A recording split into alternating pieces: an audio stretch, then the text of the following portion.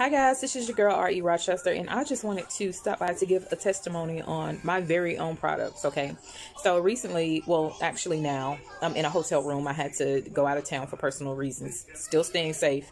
But I'm in an area where um, the water has this very, very strong sulfur smell. If you've ever traveled somewhere like maybe Florida or, or Louisiana, you know that that water has you know, like a really strong sulfur smell. So when I walked into the hotel room, it just took my nose completely over, okay? And I was like, hmm, let me let me make sure it's the water and nothing else, you know. So after turning on the water, I confirmed that it was that smell. Thank God, okay, I travel with my own products. So I had um I actually have my lavender with vanilla relaxed candle and I have my peppermint um, black raspberry vanilla with peppermint candle and a Georgia peach candle. But because it was late, I was traveling all day. I really wanted to relax. So I decided to light my lavender with vanilla candle.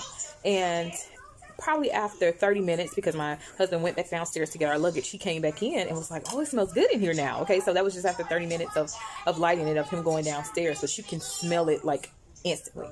So after burning this candle for a good, mm, a little over 12 hours, I still have this much.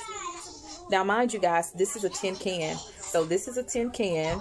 It's easy to travel with. I don't have to worry about the glass breaking. I can literally toss this in my luggage and keep it moving, okay? So, and it has a wood wick, so it, it has that nice slow burn. But I have this in lavender with vanilla, black raspberry vanilla, and um, eucalyptus and lemongrass, okay? And also, I could not leave home without my own soaps. Let me show you which one I'm using.